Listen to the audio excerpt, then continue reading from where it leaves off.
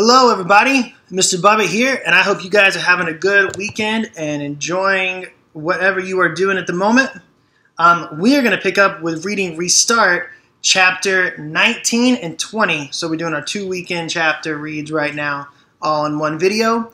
If this is too long, don't worry, you can pause it, come back to it anytime you want, okay? So let's jump back in. We left off on Friday with um, the conversation we had during our morning meeting about what does reconciliation mean. We kind of discussed that, it's like forgiveness, but it's a bigger form of forgiveness in some ways. Like uh, this, if you think about the size of a problem chart that we used in our classroom all the time, you know, you don't. There's those problems that are so small you don't even need to respond to them. You know, that's not reconciliation. That's not forgiving someone. So, for example, if like you know someone takes your ball on the playground and you sort it out real quick, that's not might be some forgiveness involved, but that's not really reconciliation, right?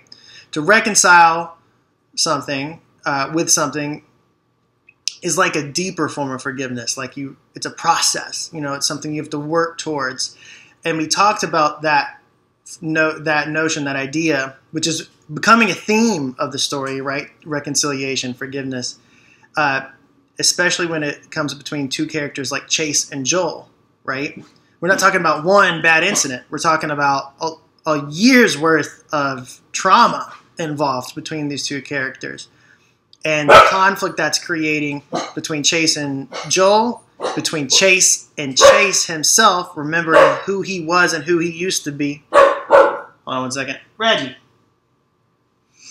Um, who he was and who, who Chase was now, who he is now and who he used to be, right? Chase is learning more and more about his past and really not liking who he used to be, and that's something that Chase has to reconcile and carry with him. And we also talked about reconciliation between Chase and Joel Weber's family and how Shoshana is kind of pushing everybody in an uncomfortable way to kind of force them to reconcile with this, kind of force them to accept Chase as a different person now and kind of push the issue and you know kind of say he is different and we we kind of have to deal with that now. We have to find a way to still occupy the same space and work together. Um, so interesting stuff. Lots of deep thoughts to think about. Lots of stuff to reflect on um, in the story. Let's see where it goes now. We're reading chapter 19. We're starting off with a new perspective. We had never really heard from Bear Bratsky before. Maybe there was one chapter earlier, but I know we've heard from Aaron, but this is from Bear Bratsky's perspe- perspective. When the announcement comes that there's an assembly, we're all psyched. Why wouldn't we be? It's like a get out of jail free card for the whole morning of classes. What's the assembly about? Who knows? Who cares? In the auditorium, the big screen is set out. The perfect chance to catch a nap for a guy who was playing game, video games. I'm sorry, I uh, missed my line. I'm going to try that again. In the auditorium, the big screen is set up. That means they'll be turning the lights out. The perfect chance to catch up a nap to catch a nap for a guy who was playing video games until 3 a.m. last night. Aaron is way ahead of me. He drapes himself into his seat, his legs dangling over the back of the chair in front of him, his arms spread wide out. I fight my way to be beside him, and we wrestle for position. Hey! exclaims the loser in the row ahead of us, the one with Aaron's size 14 construction boot hanging over his shoulder. But when he sees who he's talking to, he gets real quiet real fast. He and his friends wander off, looking for someplace else to sit. I flake out next to Aaron. Wake me up when it's over, he mumbles, already half asleep. You're the one who's going to be awaking me, I retort, and we exchange a few rabbit punches before settling in for the big snooze fest. Then comes a surprise. The whole purpose of this assembly is so we can congratulate Chase Ambrose and Shoshana Weber for the amazing video they made for some stupid contest or other. That's all I need to watch the principal and teachers lining up to worship the kid who used to be just a guy like me until he fell on his head and suddenly became smart. It gets worse. We're not just going to worship the video, we're going to watch it all 40 minutes of it. Well, forget sleeping now. I'm too ticked off. Even Aaron is sitting bolt upright, staring in outrage at Ambrose and the Weber chick on stage. The video starts. That's when my head really explodes. The thing is called Warrior, and it's about that geezer Soloway, the meanest old Dumbledore in the entire Greybeard Motel. No wonder the two of them spent so much time with the guy. Beside me, I can practically see steam coming out of Aaron's ears. It's not enough for him to make us look like jerks by doing community service when he doesn't have to, he seethes. No, he has to make a documentary about the place so he can brag to the whole world. And with, Shasha- and with Shoshana Weber, from the same family that got us put on community service in the first place. And I thought that guy was my friend. But Soloway? I demand. What's up with that? Yeah, he agrees. A whole museum full of ancient fossils, and they have to pick the nasty old crab who complains to the nurses if his cookie is off center on the plate. That's not what I mean, and you know it, I hiss. Why him, huh? Not just any old Dumbledore. Soloway. No way that's a coincidence. Chase doesn't know anything about that, Aaron reminds me. He's got amnesia. If he's got amnesia, I put in darkly, sounds a little convenient to me. Well, he's got amnesia enough to forget that he's our boy, Aaron says bitterly. I nod. He used to play football, now he doesn't. He says he's coming back, but I think he's just stringing us along. He's partnered up with a Weber, and he's even getting buddy buddy with Joel Weber. He's making it impossible to get along with him. He acts like he's changed, but he's really just cutting us out. On the screen, there's a close up photo of a gleaming Medal of Honor. In the voiceover, Shoshana explains that this isn't the actual medal. Mr. Soloway won. Mr. Sol- Mr. Wonderful Soloway isn't just a hero, he's modest too. He never wore the dumb thing because he didn't want people to feel bad that they don't have one. And over the years, he forgot where he put it. Yeah, right, I mutter. Shh, Aaron hisses. When it's finally over, Ambrose and the Weber chick get a five minute standing ovation. That burns me up since I know for a fact that the other kids were just as bored as I was. They bring the whole video club up there because they helped. Mr. Lau reads out a letter from the head of the Greybeard Motel thanking the filmmakers for their awesomeness and the school for having such awesome students. Puke. Aaron and I are sentenced to go to that place three days a week until we're practically old enough to check in there. And what do we get for it? yelled at. That's what. By nurses and Dumbledores, both. And Chase, who's worse than us, gets a love letter from the director. I've never been so happy to get back to a classroom. We can't just do nothing about this, I plead to Aaron as he takes the desk next to me. He's walking all over us, and we're letting him. For the very first time, he doesn't look at me like I'm crazy. I've got an idea how we can jog his memory. You know, remind him who his real friends are.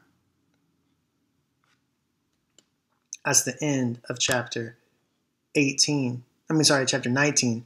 Sounds like it's getting pretty intense between Aaron and Bear. They're definitely not happy about Chase's flip since he had his accident, and they're really, really uncomfortable with this video about Mr. Soloway. I wonder where that's gone. All right, Chapter 20, jumping straight in, we got Brendan Espinoza on the line. Leaf Man wasn't the hit I was hoping for. Even though it got a lot of YouTube views, for something to go viral, it has to reach a kind of critical mass where suddenly everybody is talking about it. Poor Leaf Man just didn't have enough legs for that. The, the bummer is, as great as it was, Leaf Man set me back big time with Kimberly. She's still nice to me, But it might be that she feels sorry for me because she thinks I'm crazy. I'm coming to the conclusion that our senses of humor aren't very compatible. That doesn't mean we aren't compatible, just that we probably won't like the same books, TV shows, movies, you know, that kind of stuff. Besides, she's still totally moon faced over Chase. So, compatibility isn't really an issue right now. The fact that she barely even notices me, that's an issue. Anyway, I've got an idea for a new video, and this one's going to knock her socks off. It doesn't depend so much on humor as creativity and special effects. It's called One Man Band.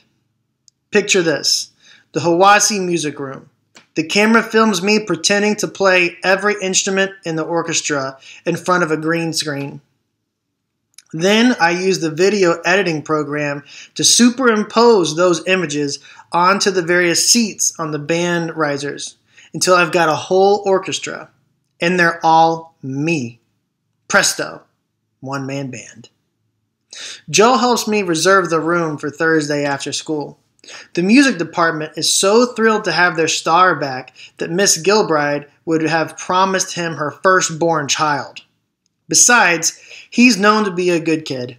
It's not like he's going to trash the risers or anything like that. Unfortunately, Chase isn't available to work the camera.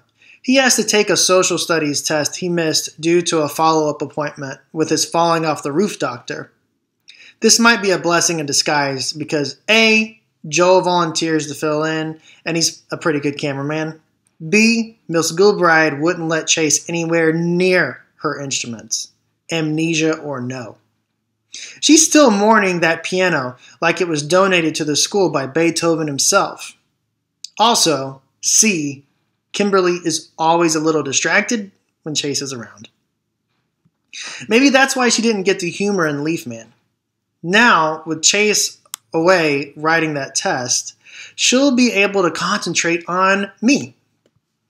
I want to rent a tuxedo, since those orchestra guys really put on the Ritz. My mom won't spring for it though, so I do the best I can.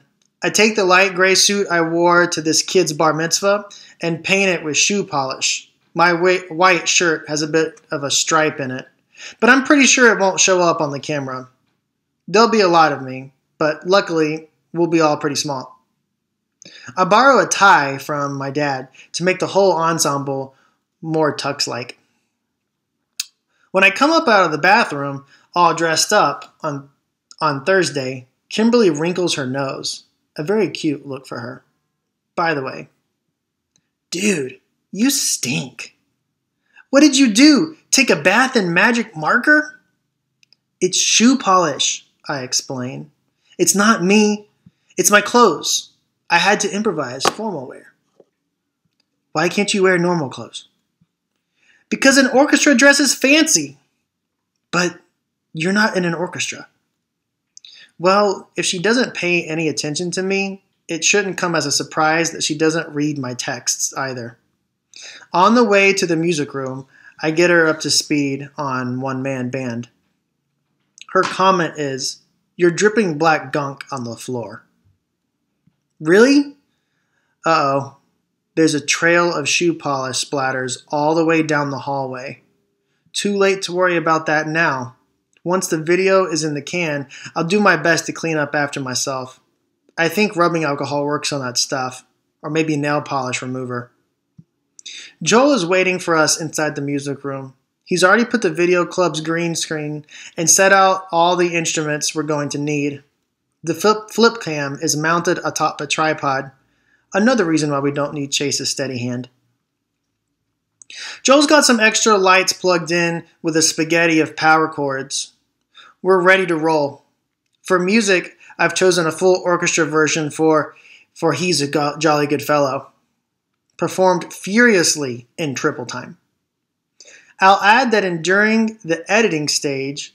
I'll add that in during the editing stage. But I play it on my phone during filming so I have the time right while I'm trying to do my thing with the instruments. It's not such a big deal with the small stuff. Trumpet, clarinet, sax, flute, piccolo.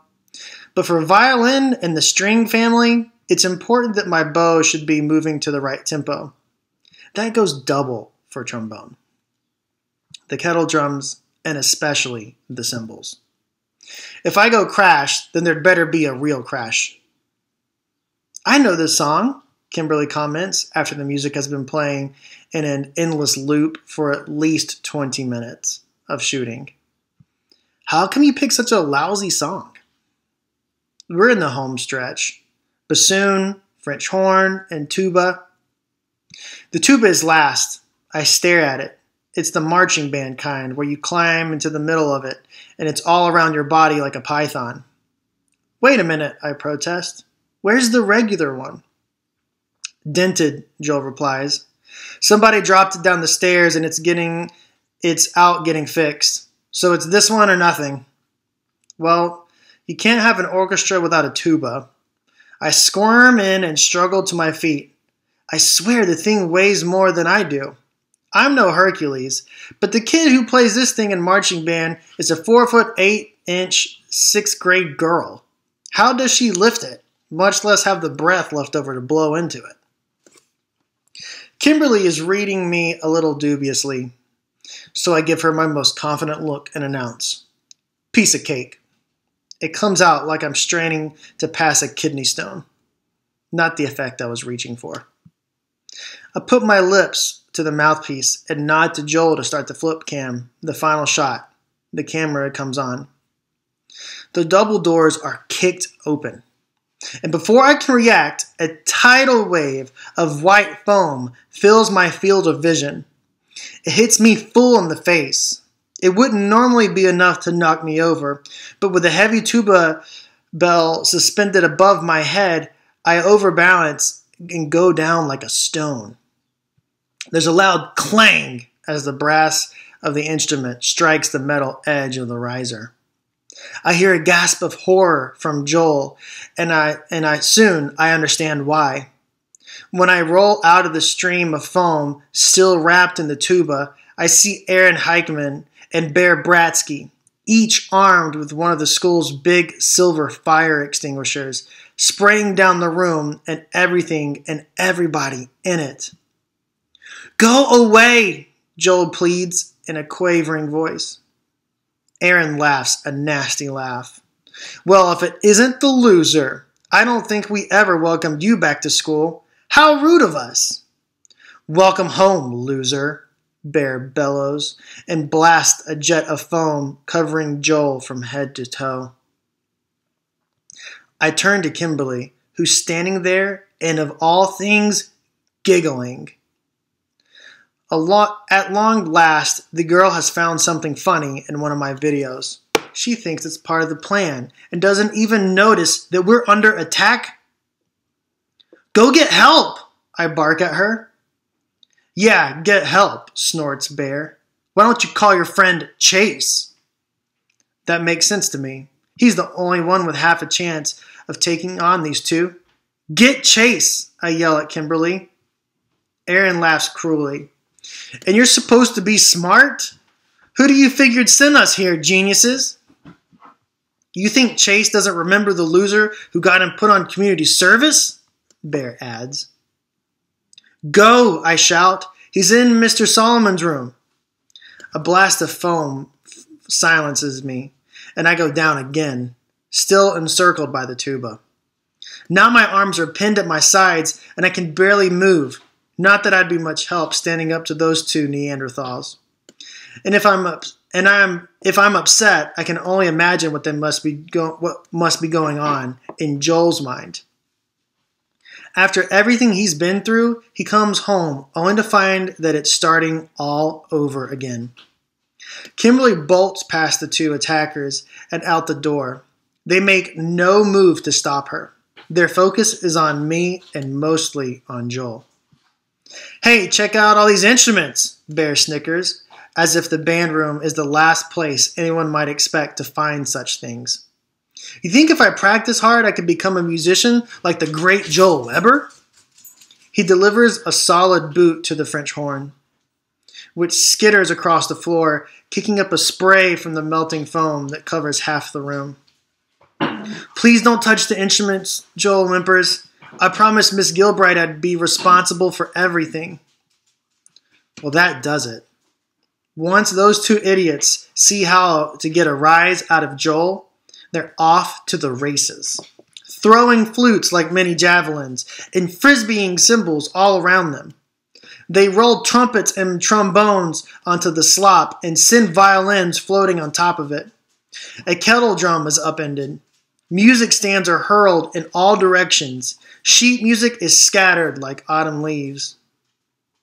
Still stuck in the tuba, I try to scramble towards Aaron and Bear. I slip on wet paper and hit the floor with another clang. Joel has Aaron by the shoulders and is trying to pull him away from the instruments, but Aaron laughs and shakes him off. Suddenly, Chase barrels into the room, Kimberly hot on his heels. What's going on? he bellows. Dude, what took you so long? Aaron crows in unholy glee. We had to send the chick to get you. This is your best idea yet, adds Bear. He hefts his fire extinguisher and hands it to Chase. It's all yours, Maestro. Chase looks totally blown away. I can't read his expression. Shocked or something else? It's your plan, Aaron reminds him. Bring it home. Chase is a statue, eyes wide. Bear gets impatient. Okay, I'll do it for you. He tries to take back the extinguisher, but Chase tightens his grip and holds on. There's a vicious tug of war for the extinguisher. With a mighty yank, Chase wrenches it out of Bear's grasp. It swings free just as Joel rises from the floor where Aaron tossed him. With a thud, the heavy metal strikes Joel in the side of the face, and he drops back down onto the foam. Agitated voices sound out in the hallway. Six teachers burst into the music room, Miss Gilbride in the lead. What's going on here? she yells, taking in the wreckage all around her. Where's Joel Weber? With a groan, Joel sits up. The foam on his face can't disguise the fact that his left eye is already turning black and blue. That's when it hits me how this must seem to the teachers. The music room is a disaster area. Instruments, music stands, books, and papers are strewn everywhere. The whole place buried in foam. The school's three most notorious bullies are right there. One of them, Chase, still wields a fire extinguisher. And their number one target, Joel, is down on the floor with a rapidly swelling face, obviously the victim of an assault. It isn't what it looks like, I gasp, and then bite my tongue. What if it's exactly what it looks like? The idea to send for Chase came from Aaron and Bear. Was that their plan all along? And was Chase the ringleader, just like those guys said? The teachers don't pay any attention to me. Their job is diffusing the crisis. Miss Gilbride rushes to Joel to see rushes Joel to see the nurse, and the other staff members march Aaron, Bear, and Chase off to the principal's office. Kimberly follows. Even now, her only concern is Chase. As quickly as that, I'm all alone, still trapped in the marching band's tuba. With a heavy sigh, I struggle up and try to shake myself out of the brass tentacles of this thing. It moves maybe an inch. I'm going to be here all night. As I continue to wriggle and squirm, dripping gray froth shoe polish onto the foam, I reflect that the worst part of this isn't being stuck in a tuba. It isn't that one man band is never going to happen. It's the sad fact that Kimberly could leave me in such a terrible state just because Chase is in trouble. And as soon as I think that, I realize the real worm around here has to be me wormier even than Aaron and Bear. I care more about my love life than the fact that my friend Chase might not be my friend after all. It isn't true, I scold myself. Chase used to be like that, but not anymore. Then there's the evidence of my own eyes and ears the trashed band room, another attack on poor Joel, Chase right alongside his old wrecking crew, delivering the final blow. I sit down on the edge of the riser and hang my head, too depressed to wriggle any more. The sound of wet sneakers squishing in the slop jolts me out of my melancholy. I look up to see Kimberly standing over me. She says, I thought you might need some help getting out of that thing. My heart soars. There's hope. That's the end of chapter 20. So we will pick up on Monday with Chase Chase's perspective. That's quite an event right there, guys. I wonder what's going to happen here. Lots of different perspectives, and it looks like a, a much more situational conflict, right? We talked about internal conflict with Chase and Chase, and um, a couple of external conflicts mixing with internal conflicts. But now we got a big plot twist, so we'll see what happens. You guys be safe, be good. I will talk to y'all on Monday, and um, hopefully that update with the clever stuff was working. So if it's not, please take a picture, please send it to me. And if you have any thoughts or reflections on the characters in the story that we're reading, send them my way. I'd love to hear your thoughts. We'll share them at our next morning meeting. Until then, you guys be good, take care, and I'll talk to you soon, all right? Bye.